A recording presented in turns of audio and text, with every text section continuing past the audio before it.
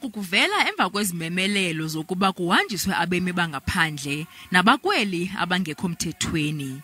Ezi zimemelelo zikwaza emva kokuba umzantsi afrika erhoxise i-zep nebonelela ngokhuseleko lwasemthethweni kubemi basezimbabwe nabaqikelelwa kwi-178 000 abahlala kweli abasebenza kweli nabafunda kweli lomzantsi afrika. They explained to me that for the visas, they received 4,000 applications, and for the waivers, they received about 6,000.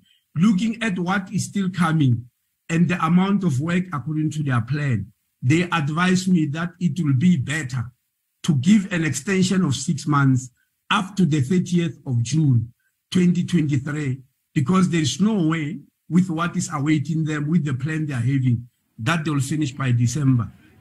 Inani eliphantsi lezi zicelo libonakalisa ukuba mathidala kwabo baphethe i-zep ukuzokufaka izicelo zokuhlala kweli ngenxa yokoyika ukukhatywa kwezicelo zabo I think that many ZEP holders have now realized that uh, they don't qualify for critical skills because the critical skills list has changed.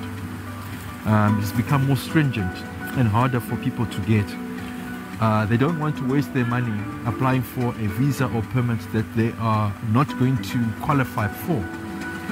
They are also looking at it as a situation where the courts could give them an opportunity to become uh, permanent residents or uh, have the minister's decision re- uh, reviewed, set aside, and sent back to him. So there is a hope amongst ZDP holders that uh, there'll be relief uh, from the courts. Izimbabwe exemption permit holders association. Lelinye lamaqela aphikisa esi sigqibo sikamutswaledi enkundleni.